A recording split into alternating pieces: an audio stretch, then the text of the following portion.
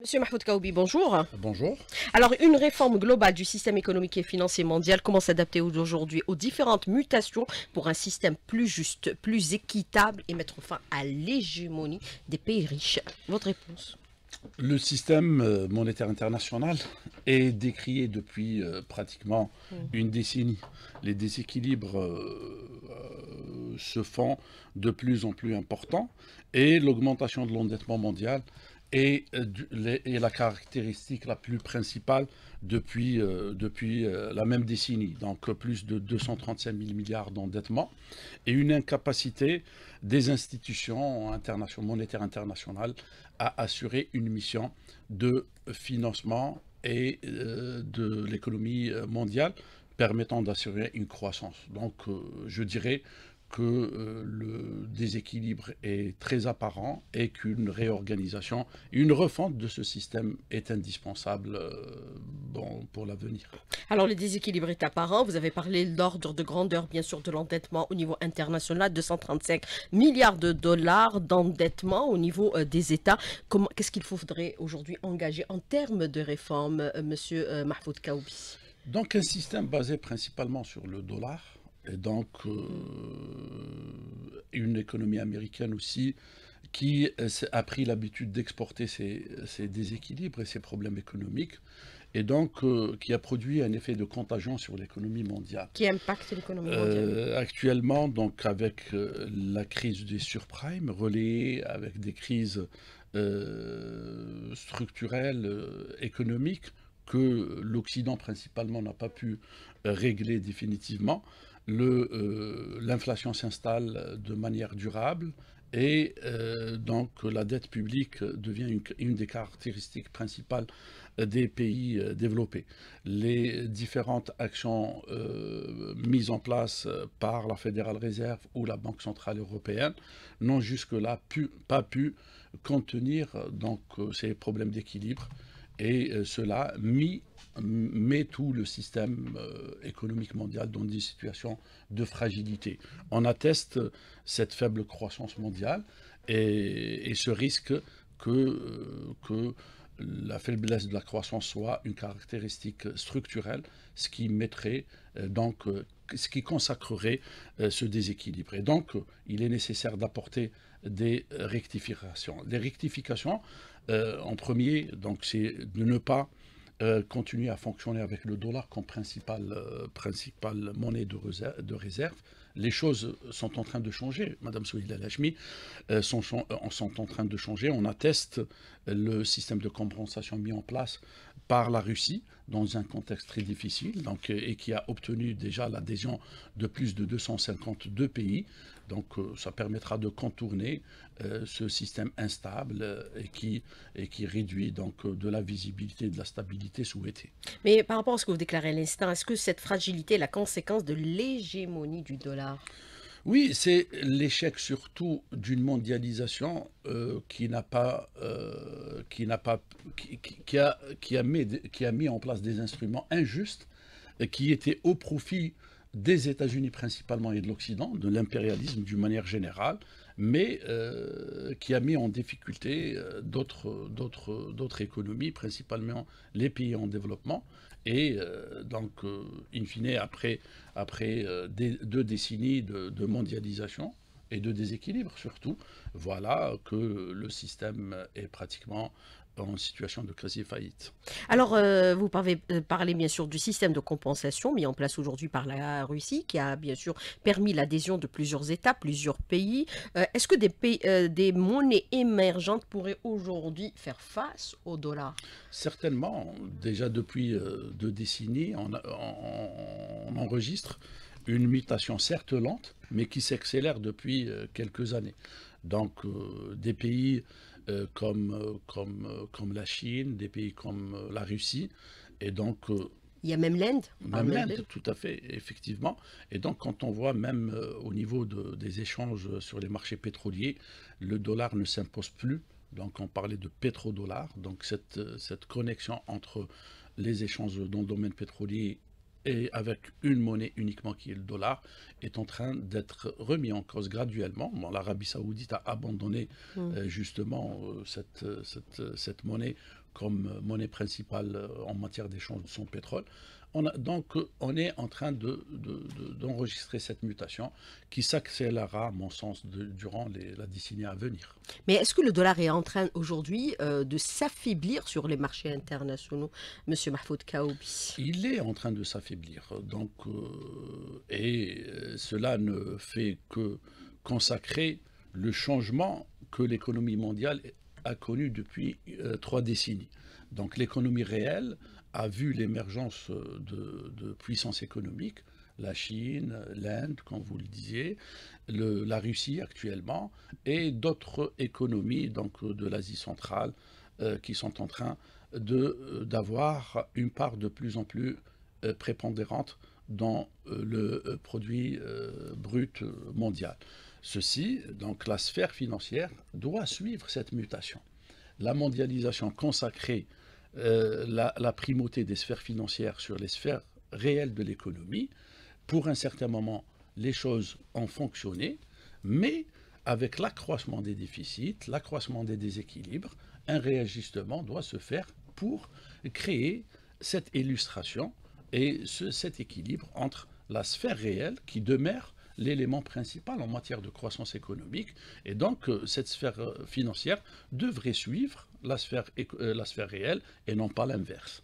Alors euh, oui, mais euh, certains analystes vous disent aujourd'hui que par exemple on s'achemine vers la fin du dollar à moyen et long terme, mais est-ce que c'est le cas ou ça va être le cas? Ou alors ça va être euh, la fin du dollar fort sur les marchés internationaux, monsieur Mahfoud Kaoubi, puisque nous avons vu aujourd'hui qu'il y a une crise financière et économique au sein des États-Unis qui n'arrive pas à réémerger et à bien sûr à produire plus par rapport aux pays qui sont en train aujourd'hui de concurrencer, comme par exemple la machine industrielle chinoise. Quel est votre commentaire justement par rapport à cette question, puisqu'on dit aussi que les États-Unis sont en situation de récession?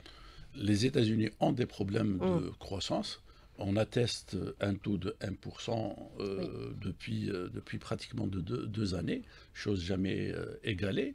L'accroissement donc de la dette publique, qui, pour, qui pour la première fois dépasse les, le produit brut américain, et, puis euh, ces euh, crises euh, cycliques de, du système bancaire américain qui démontrent une fragilité qui s'installe d'une manière durable. La faillite même de certaines banques américaines. Maintenant, l'abandon, je dirais pas qu'il y aura un abandon mmh. brut de, du dollar comme principale monnaie d'échange et de réserve.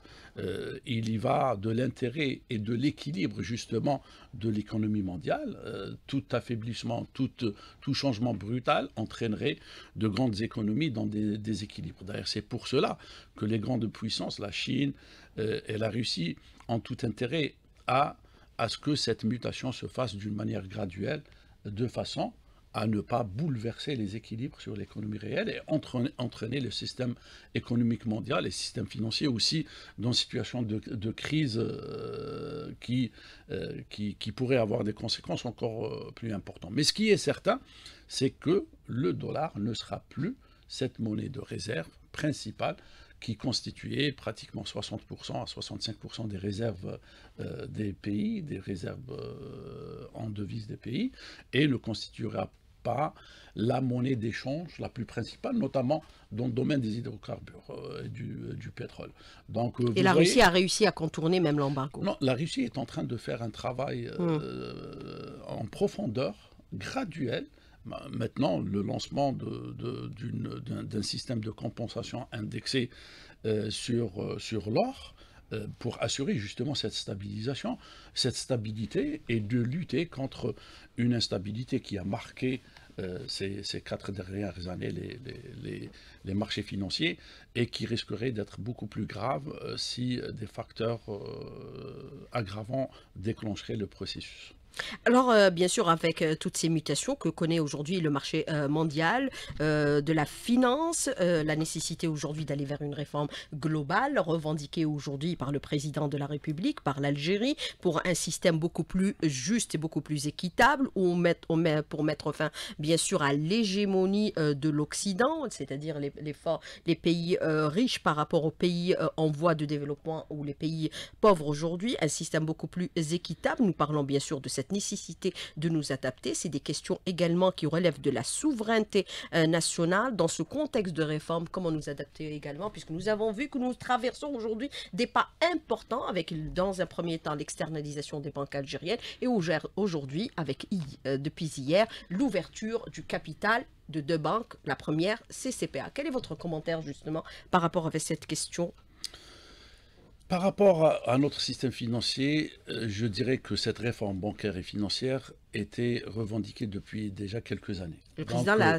l'a dit, il l'a déclaré, l'année 2024 sera l'année de la réforme de notre système financier. Ce qui, est bien, c'est que par euh, cette réforme bancaire, d'ailleurs qui devrait s'inscrire dans un processus de réforme beaucoup plus profond, c'est un des éléments des réformes qui doivent être synchronisés et rythmés. Donc euh, cette réforme est indispensable et constitue, à mon sens, un début euh, de, des réformes de deuxième génération euh, souhaitées. 2019-2023, des réformes qui ont touché la sphère institutionnelle et juridique, donc que je qualifie de première génération de réformes, et qui ont eu pour objectif de, régler les imperfections qui, étaient constatées sur le plan de l'architecture euh, et de l'organisation de l'économie, vient cette deuxième étape. La deuxième étape touche les éléments relatifs à la sphère microéconomique. Et donc, euh, réformer le secteur bancaire, déjà par une loi monétaire et bancaire qui a été votée et qui, je rappelle, attend des textes d'application. Il faut qu'on accélère le processus des textes d'application parce qu'il ne s'agit pas de mettre l'architecture, mais aussi de traduire cette architecture en action et euh, en changement réel. La deuxième des choses, donc, c'est la rendre effective. Voilà, c'est cette euh, ouverture de capital de banque euh, publique annoncée. Donc, une privatisation d'une partie du capital qui un grand pas vers la modernité. voilà, donc hmm. moderniser, mettre à niveau notre système bancaire et surtout le réconcilier avec les logiques de marché. Donc euh, on passera d'une euh, gestion et d'une évaluation opaque à une évaluation et une gestion connectée avec le marché, donc euh, connectée avec la compétition et la réalité des marchés, encore une fois. Alors, euh, on a franchi de grands pas par rapport, bien sûr, à ce qu'on avait abordé auparavant.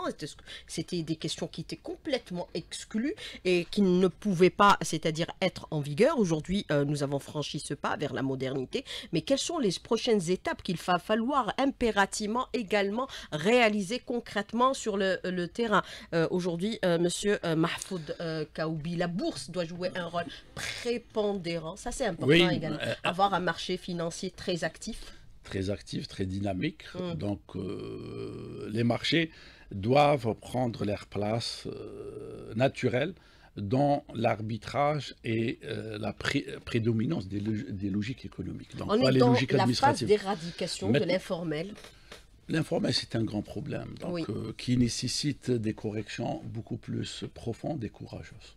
Donc l'informel, c'est une grande question sur lesquelles des problèmes relatifs euh, à la dépense publique euh, devraient être posés, à la révision des logiques de subvention doivent être mises en place, et la rationalisation de la gestion et de l'action de l'administration. C'est très important, Madame Sevilèche, mais c'est pour ça que je dis que cette question de correction et de modernisation du, euh, du secteur bancaire doit être synchronisée avec d'autres réformes. Celles qui permettent donc de stabiliser les prix et donc de lutter contre l'inflation, celle qui permettrait d'améliorer la gouvernance publique et donc une mise en place de réformes budgétaires, c'est très important.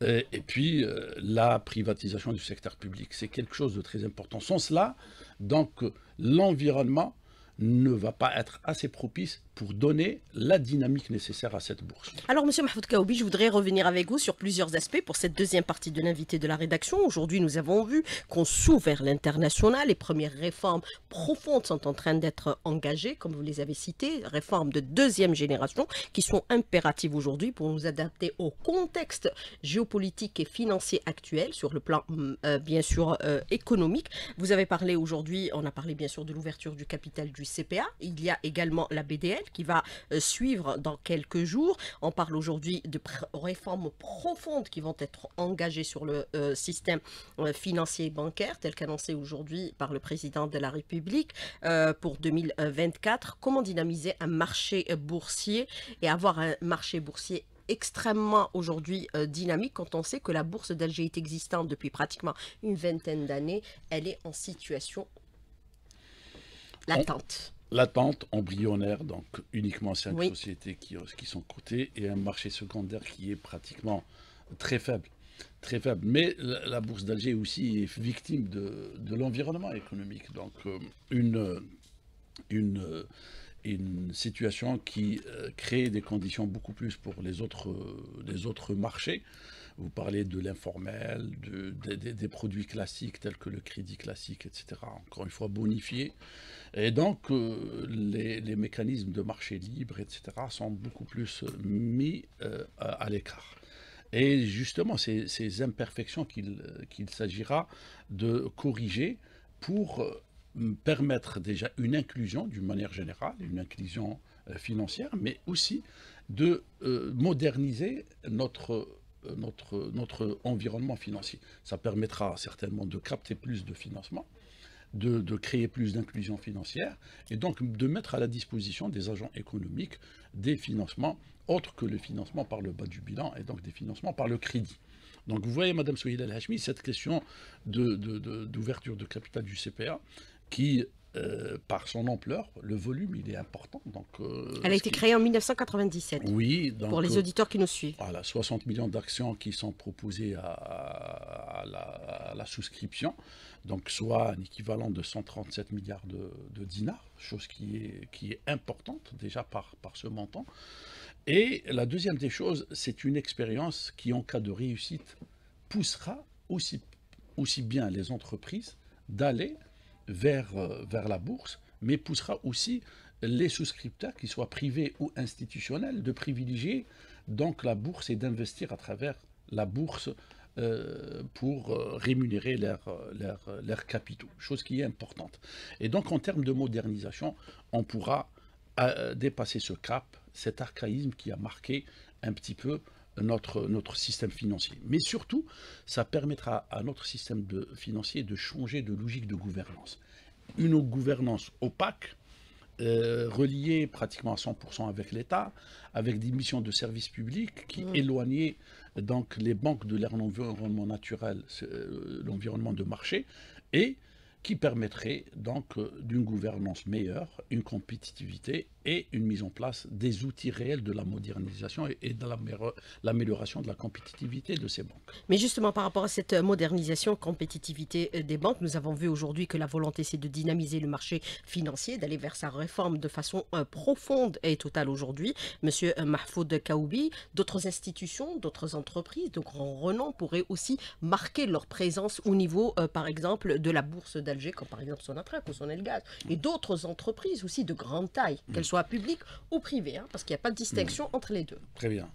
Euh, donc le programme euh, est naturellement, va naturellement tendre vers l'admission, les mm. compagnies d'assurance principalement, avant mm. d'arriver donc Sonatrach et, et la Sonelgaz. Mais c'est un label aussi de transparence au niveau international, oui, être à la bourse. Justement, c'est un mm. label de transparence sur le plan national et sur le plan international. Donc ça permet de capter. Pour l'instant, la souscription est ouverte uniquement aux, euh, aux, nationaux, qu'ils soient résidents ou non résidents, donc euh, institutionnels Mais on pourrait s'ouvrir aussi aux étrangers qui sont présents sur notre marché, comme cela se fait en Tunisie. Ouvert. La bourse tunisienne est très dynamique, ouverte à toutes les entreprises, quelle que soit leur nationalité. C'est recommandé. La nationalité importe peu. Importe peu, mais c'est surtout de capter hum. des, des, des capitaux des euh, cash donc des cash flows en devise aussi, c'est important. Et la deuxième des choses, c'est aussi des fois d'avoir des partenaires techniques qui permettraient de non seulement de ramener des capitaux, mais de ramener de la technicité, du savoir et un réseautage à l'international. Des fonds euh, souverains, par exemple. Oui, on, peut, on peut être dans des, dans, dans des scénarios pareils. Donc, euh, le processus, l'admission du CPA est déterminante parce qu'elle elle, elle est considérée comme un signal qui pourrait déclencher un processus. Maintenant, au pouvoir public aussi, de mettre en œuvre les politiques qui pourrait donner les, qui permettrait de donner les conditions de réussite de ce processus. la question de la privatisation ou la détermination du sort du secteur marchand de l'État est indispensable si on veut amorcer un réel changement sur le terrain. Mais bien sûr, cette adhésion à la bourse d'Alger, c'est un signe aussi de solvabilité de ces banques. Aujourd'hui, Monsieur Mahfoud Kaoubi, quand nous savons qu'il y a quelques années, elles ont connu quand même certaines perturbations par rapport aux crédits impayés. Oui, maintenant, pour être admis. Euh, On appelle ça les soldes négatifs oui, en termes financiers. Il y a tout un travail d'assainissement pour que les valeurs euh, soient euh, visibles, claires et qui répondent à des critères euh, donc, de traçabilité et d'assainissement. Ce qui a été fait d'ailleurs par le CPA. Donc il y a tout mmh. un travail d'audit, de, d'assainissement des comptes qui a été fait, suivi surtout d'une opération d'évaluation. Parce qu'avant avant d'être au niveau de, de, la bourse, on opère et on effectue un, travail d'évaluation, de, ce qui a été fait pour, pour le CPA. Et on abandonne cette logique d'évaluation basée sur le patrimoine, donc sur les actifs, qui est une évaluation purement comptable, euh, en, intégrant d'autres évaluations basées sur les flux qui permettent de se poser la question quelle est la valeur de cette, quelle est notre valeur avant d'être admis. Et une fois que la valeur elle est discutée, validée, on la met sur le marché et on voit effectivement comment réagissent les, autres acteurs qui sont les souscripteurs pour euh, passer à une autre étape d'échange euh, des, des, actions sur le marché secondaire et qui crée toute la dynamique qui, euh, entre, entre, entre dynamique de valeur surtout et qui permettrait et qui conditionne justement le système de gouvernance à améliorer encore plus, à se remettre en cause systématiquement et à développer de sa compétitivité, de son organisation, de sa motivation et ça à se mesurer par rapport aux autres. Ce n'est pas de fonctionner dans, des vases clous, mais de se mesurer par rapport aux autres, à la concurrence surtout. Oui, mais euh, cette situation, par exemple, avec l'ouverture euh, du euh, capital du CPA, BDL, d'autres banques pourraient aussi arriver dans, les, Voilà, dans les mois, les mois à venir. Il y aura également certainement, puisque c'était mhm. aussi dans les projets, les compagnies, les grandes compagnies d'assurance. vous avez aussi éventuellement des grandes entreprises publiques ou au privé. Est-ce que ça va mettre fin graduellement, bien sûr, à cette situation de dominance du secteur bancaire sur la sphère financière aujourd'hui, puisqu'il est à hauteur pratiquement, si je ne m'en trompe pas, 80, voire 80 oui, bon, le secteur public actuellement, dans le, secteur mm. financier, est à hauteur de 85 Donc, c'est les banques publiques. En ouvrant, ça nous permettra donc euh, d'abandonner cette, euh, cette prédominance du secteur public. Il y aura du privé dans le public. Euh, pour l'instant, ça dans sera le 30%. Mmh. Oui, ça sera 30%.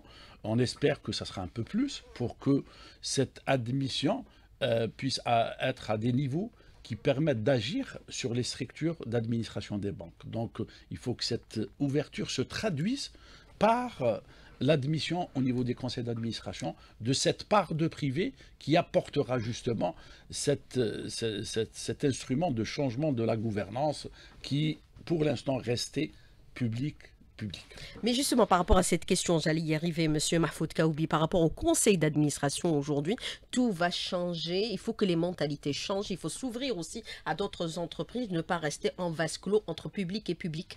Dans les conseils d'administration, pour avoir une évaluation, une modernisation, une visibilité. C'est ce qui est souhaité. Donc, euh, de nouveaux propriétaires. Je ne parle pas seulement des banques, hein. je parle de tous les conseils d'administration. Tous les conseils d'administration. Donc, plus il y a eu. Euh, plus Parce qu'ils sont.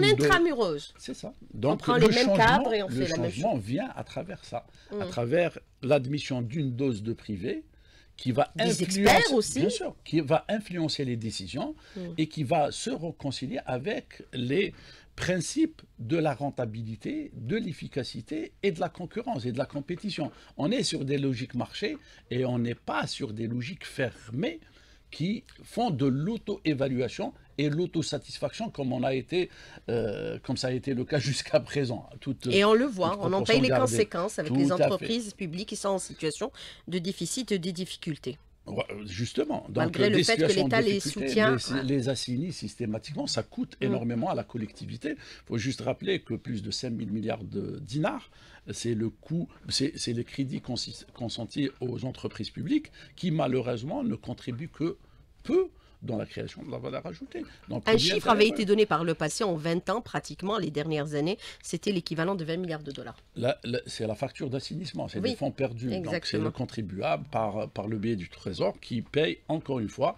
Je cette, donne le euh, montant en dollars. Oui, donc euh, et c'est énorme. euh, que si on considère le montant, s'il a été consenti à, à financer des investissements, ça aurait été, ça aurait été une autre logique, Madame Lachmi. C'est pour cela que je dis que cette réforme, cette introduction en bourse doit être accompagnée par des discussions importantes par rapport à l'avenir du secteur marchand de l'État.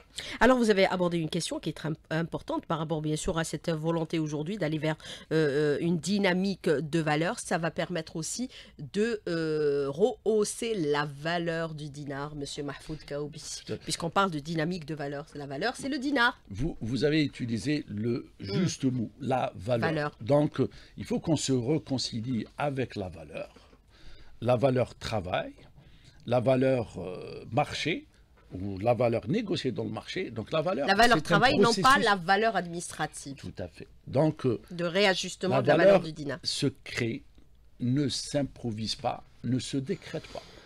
Donc, euh, même quand vous parlez du marché parallèle, le, la pierre angulaire, c'est de se réconcilier avec la valeur. Donc, euh, pervertir le prix des biens et des services entraîne systématiquement une perversité au niveau des logiques des acteurs et des marchés. Et c'est dans ce sens que l'ajustement doit se faire par rapport à notre système de taux de change, par rapport à la gouvernance publique. C'est vrai qu'on a mis, euh, les lois ont été votées, euh, le management par objectif euh, a été adopté, mais il faut que ce soit des actions au niveau de la réalité. La nécessité de revoir la politique des transferts sociaux est indispensable. Donc, si on veut se réconcilier avec la valeur, donc on doit aller vers le prix réel, le véritable prix. Et c'est comme ça qu'on apportera les correctifs qui donneront les signaux positifs au marché. Et après, à la suite, ça sera plus de justice, plus d'égalité, plus de réconciliation avec les fondamentaux des marchés. Et je dirais qu'à partir de là, on aura mis en place les outils d'ajustement qui permettent de hausser notre système de production vers le haut et justement de permettre d'améliorer de la valeur de notre monnaie qui est le dinar. Mais justement, est-ce qu'on peut considérer que cette réforme qui est engagée aujourd'hui sur le plan financier, sur le plan bancaire, c'est la mère de toutes les réformes qui va permettre de réajuster et de réviser complètement les mécanismes de fonctionnement de notre économie? Elle est déterminante. Elle est profonde. Elle, elle est déterminante. Mm. Elle est importante. On Maintenant, a toujours été décrié sur cet aspect-là. on hésitait. Par les grandes institutions internationales. Ouais, on hésite. Mm. On a toujours hésité parce que Mais on hésite parce qu'on a peur, monsieur Mahfoud parce Kaoubi. qu'on a peur. Oui. Le changement euh, est difficile. Oui. Il y a des situations, euh, il y a des habitudes qui, qui se sont installées. Il y a Mm. des rentes aussi qui, euh, qui, qui se sont installées. Et là, le pétrole nous permettrait un petit peu de rester sur, euh, sur, euh, sur cette, euh, cette lenteur en matière de réforme. Là, je considère que c'est le moment de lancer le processus de réforme profonde, structurelle, euh, pour, être compétitif au pour être niveau international. Et donc, j'insiste sur une chose, synchronisation des actions, parce qu'il ne faut pas continuer à fonctionner avec des logiques au, au coup par coup, c'est pas bien. La deuxième des choses, c'est le rythme. Il ne faut pas qu'on reste sur le rythme lent qui a été observé. Certes, il y avait le Covid, certes, les organisations, et- et des problèmes d'organisation devaient être euh, mis en place, mais maintenant, je considère que les enjeux sont importants. Vous parlez, Madame Souhil El Hachmi, d'un environnement sur le plan inter- international qui est en train de muter. Les gens travaillent. Tout change, et rapidement. La Russie est en train de. de- Et puis, personne ne La fera Russie, des cadeaux. la Chine, l'Inde, Personne ne fera des cadeaux. Mm. Moi, ma conviction, c'est qu'après. le Brésil, l'Afrique du Sud, les mutations sont Après quelques profondes. mois, les grands de ce monde se mettront autour d'une table et ils vont partager les bénéfices et les intérêts. Donc, On doit faut- faire partie on de doit, ces grands. voilà, on doit travailler sur la résilience de notre économie, de notre système On financier. l'est sur le plan politique puis, international, il faut l'être aussi sur le plan un problème financier. de gouvernance, c'est un problème de projet social. Sociétal, je dirais, c'est un pacte. Il faut que nous, en tant qu'individus, les gouvernants aussi, sachent que le- la voie des réformes, c'est la voie du sacrifice et c'est la voie du travail qui mènera vers l'amélioration de notre vécu dans l'avenir et qui fera de l'Algérie un élément sur lequel euh, on devrait compter dans, dans, dans- dans cette recomposition géostratégique. Et puis, il y a l'attractivité économique, puisque nous avons des potentialités inestimables dans tous les domaines. mais qu'on n'a pas pu traduire en projet grâce à ces dysfonctionnements par rapport à la valeur Ça va commencer des à problèmes d'organisation. C'est pour ça je- que je parle, encore une fois, de synchronisation et de rythme. Alors euh, justement, dans le cadre de ces réformes, vous avez parlé bien sûr de cette réforme de deuxième génération, il faut aller aussi un peu plus loin aujourd'hui, Monsieur Mahfoud Kaoubi, puisque nous avons vu que la loi sur la monnaie et le crédit, il y a eu bien sûr une adoption d'une révision qui a été adoptée. Vous avez déploré le fait qu'il n'y ait pas à ce jour les textes d'application, mais il faudrait aller encore plus loin par rapport à la réglementation de change qui aussi plombe aujourd'hui cette volonté de venir investir dans notre pays ou d'aller vers l'exportation, ce qui est logique. Quand on investit dans un pays, on exporte les dividendes, même s'il y a une partie qui reste dans le pays d'investissement. Monsieur Mahfoud Kaoubi, si maintenant nous on euh, s'externalise, comme nos banques aujourd'hui, elles vont certainement rapatrier également des dividendes. C'est euh, une logique de marché. C'est une logique de marché. Et, le fait qu'on soit sur une dualité des prix euh, de change, ça fait ça ne produit que des effets euh, graves euh, sur Cette la double sphère économique. dualité, Cette dualité, entre la valeur crée- de la banque et celle de l'informel. c'est une source de myopie Mm. en matière de décision économique. Mm. Et la décision économique est construite sur le prix, sur Mm. la valeur et sur la visibilité. Il ne Qu'est-ce s'agit qu'il pas. faut aujourd'hui, monsieur Mahfoud C'est d'aller de plus en plus vers le prix réel du, du taux de change. Mm. Il n'est pas acceptable qu'on Les soit bureaux de change, ça pourrait être un mécanisme aussi de régulation Encore une fois, de cette valeur. c'est important les bureaux de change, Mm. mais ce n'est pas l'organe Mm. qui crée la fonction, mais on- il faut que ça soit la fonction qui crée l'organe. Quel prix d'échange de notre monnaie? Le problème ne se pose pas par rapport à la création de bureaux, mais surtout par rapport au prix et au mécanisme de de, de- de- de- de- de- d'échange de, la monnaie sur le plan sur la sphère de, financière. Alors, toutes ça, ces mutations géopolitiques aujourd'hui influent indéniablement sur euh, les politiques économiques, monsieur Mahfoud Kaoubi, puisque nous avons vu. Le-. L'embargo imposé à la Russie a permis à la Russie de s'adapter malgré l'em- l'embargo. De ne pas être affecté sur le plan économique. Mais la Russie s'est préparée pendant plus de 20 ans. Quand Mhm. on voit en deux Oui, décennies qu'est-ce que la. Russie a pu consolider sa position sur le plan industriel, touristique, monétaire. D'ailleurs, comment la Russie Sur le plan gazier a, pu- également. a pu contourner les sanctions Oui, qui, euh, qui devaient foudroyer l'économie russe. qui lui ont été Mais c'est le fruit du travail, de l'organisation et surtout de la confection d'un pacte social entre gouvernants et gouvernés qui est passé par des sacrifices, par du travail, par de l'organisation et surtout par une adaptation aux règles de création de la valeur. Euh, alors, vous avez cette question aussi euh, importante aujourd'hui par rapport à la valeur et la monnaie d'échange. Vous avez cette question de l'auditeur pertinente, sachant que les unités de paiement dans les transactions commerciales ont connu des évolutions à travers l'histoire de l'humanité, qui est passée bien sûr de l'argent, de l'écu, l'or et même le sel bien avant pour arriver aux monnaies actuelles. Il faut aussi aller vers la monnaie euh, virtuelle, monsieur Mahfoud Kaoubi, puisque nous avons vu que le monde évolue. Oui, De la pièce d'or, on est à, Ouais. pratiquement à la carte. je suis entièrement d'accord. Ça, c'est les formes de monnaie qui ont évolué, mais euh, durant toute cette évolution, la monnaie est restée connectée avec la valeur qu'elle euh, qu'elle euh, transmet.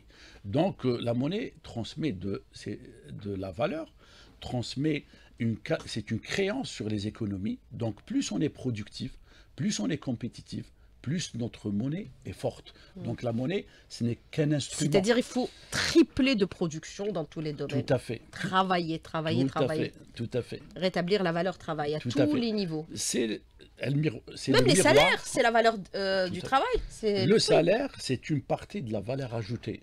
Donc, euh, plus on crée de la valeur, plus nos salaires augmentent. Mm. Donc ça, c'est la connexion réelle entre... On n'augmente pas des salaires si on n'augmente pas de la, la, la, production et on n'améliore pas de la Là, on est dans la fonction publique, ça, c'est euh, une... Non, mais la fonction publique, Madame Souhid c'est très important. Il faut aussi... Euh, on, on, parlait, quand on parlait d'informel, un des éléments importants, c'est la mm. dépense publique. Et plus on a une inflation euh, de personnel dans la sphère administrative qui n'est pas nécessairement productif, plus l'affectation de ressources, elle est biaisée. C'est la raison pour laquelle l'université aujourd'hui s'adapte à son environnement, et réoriente vers bien sûr euh, le marché et euh, l'économie avec bien sûr la création de l'auto-entreprise. L'auto-entrepreneuriat, voilà, vous l'avez dit. Euh, je voudrais revenir avec vous sur un aspect. Bien sûr, nous avons vu que nous sommes un pays très attractif. Attirer les investissements euh, directs étrangers, c'est possible avec toutes ces mutations qui sont en train de s'opérer sur le plan euh, financier, sur le plan économique, puisque beaucoup de facilitations sont offertes aujourd'hui. Monsieur Mahfoud Kaoubi, rapidement. Facilitation. Dans le sens inverse aussi, nous irons en Afrique pour conquérir le continent. Oui, mais voilà. Mais la clé restera cette, ce taux de change et cette dualité. C'est très important, mm. celui de Donc, euh, et puis euh, sur, euh, sur la réalité du terrain aussi, il faut libérer encore plus. L'administration est trop présente, à mon sens, dans le processus de réalisation des investissements. On la retrouve partout. Mais vous avez des multinationales qui sont présentes sur le marché national malgré toutes ces contraintes. Oui, mais il faut que ça soit dans toutes voilà, il faut le signaler aussi. Nous avons des multinationales qui sont dans notre pays, malgré euh, cet environnement. tout à fait. Euh, ils attendent aussi son amélioration. Alors, je voudrais revenir avec vous, par exemple, les grands projets structurants. Nous avons vu aujourd'hui que nous misons énormément euh, sur la question des mythes. C'est la question de l'auditeur qui la pose aujourd'hui, Monsieur. Mahfoud Kaoubi, par mhm. exemple, le projet de garage Billette, est-ce qu'on pourrait envisager qu'il soit aussi un projet financé à partir des fonds collecté à partir de la bourse? Oui, mais pour cela, justement, il faut que le projet... Solliciter, c'est-à-dire... Euh, c'est pour ça qu'on parle de Les fonds nationaux. Voilà, fonds nationaux. Maintenant, si le projet est bien euh, ficelé, mm. s'il est capable d'être vendu... Mm-hmm. Il sera vendu. Euh, il sera vendu. Voilà la logique du marché. On n'est pas Et ça va résorber aussi l'informel. Hein. C'est un mm. moyen d'aller vers une inclusion. Une inclusion financière. La thésaurisation. la thésaurisation, c'est donner, de donner plus de confiance. bientôt, je vais parler comme vous. Hein. non, mais c'est la voie de la raison, c'est tout. Alors, euh, est-ce qu'on peut considérer cette question de l'auditeur que le marché algérien sera efficient à l'avenir avec cette nouvelle dynamique, cette nouvelle vision mise en place aujourd'hui, Monsieur Mahfoud Kaoubi, rapidement En poursuivant les réformes et en acceptant les défis et la douleur. Alors, euh, ce commentaire de l'auditeur qui vous dit le BRICS finalement nous a apporté euh, beaucoup de bien, ne pas avoir été exclu nous permet aujourd'hui de revoir nos faiblesses. Bon, le BRICS, c'est un mouvement de mm. changement qui est, qui est déclenché. Celui qui veut faire partie, il en fait partie, mais le processus est là. Au lieu de la forme, c'est un mouvement et une logique de remise en cause des équilibres et une adaptation avec la réalité économique. Alors, on va, on s'achemine vers l'externalisation des banques aujourd'hui qui vont s'ouvrir, qui sont ouvertes hein, au niveau du continent. Il faut le permettre aussi pour les entreprises euh, euh, publiques et privé également, Monsieur euh, Mahfoud Kaoubi, par exemple, dans les travaux publics. Nous avons beaucoup de choses qui peuvent être réalisées au niveau du continent, le chemin de fer, beaucoup de choses. Même le président l'a rappelé dernièrement, Monsieur Mahfoud Kaoubi. Tout à fait, mais encore une fois... Il faut aller à la conquête du continent. Encore une fois, le taux de change. Donc vous voyez Ça va venir, puisqu'il y a une deuxième lecture, bien sûr, de la loi sur la monnaie et le crédit. Il faut y aller graduellement. Qui a été adoptée en réunion du gouvernement. Il ne faut plus hésiter. Et puis, euh, d'arrêter les processus. On a entamé un, euh, un, processus de régulation et puis qui, a, qui est relativement lent, il, faut le dire. Et il y a aussi euh, le partenariat public-privé qui est en cours aujourd'hui aussi de maturation. Monsieur Mahfoud Kaoubi, merci d'avoir répondu à nos questions et d'avoir été en direct avec nous ce matin dans le studio. Merci beaucoup, bonne journée, à bientôt, au revoir.